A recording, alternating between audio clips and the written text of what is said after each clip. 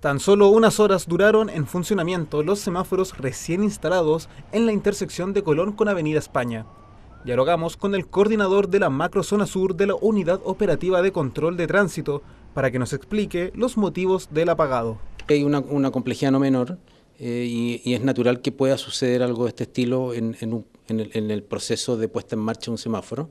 Eh, no es normal cuando ya pasan días y días y el semáforo no, responde. Digamos, ahí ya hay un, problema tecnológico mayor, eso no es el caso.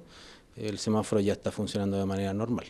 Hoy fuimos con equipos municipales a, colaborar y la empresa mm, no los aceptó finalmente porque siguen dentro de la garantía que tiene la empresa. Por, tanto, cualquier manipulación externa clara, claramente ya no depende de nosotros, sino de la voluntad de la empresa que sigue con el, con el, con el contrato. Situación que podría volver a ocurrir en otras intersecciones en el proceso de puesta en marcha de los nuevos semáforos. Es muy peligroso eh, que puedan fallar, ya está, siempre se llama la precaución a todos los vecinos cuando pasen por cualquier dispositivo nuevo y en este caso que ha fallado y hemos visto que ha fallado, lo importante es poder eh, tener la, precaución y es el llamado a los vecinos y estamos muy preocupados por eso, por lo mismo, porque efectivamente se pueden generar situaciones de riesgo. Situación que entra dentro del proceso de puesta en marcha, por lo que problemas similares podrían ocurrir durante los próximos días, por lo que estos nuevos semáforos se encuentran en permanente monitoreo.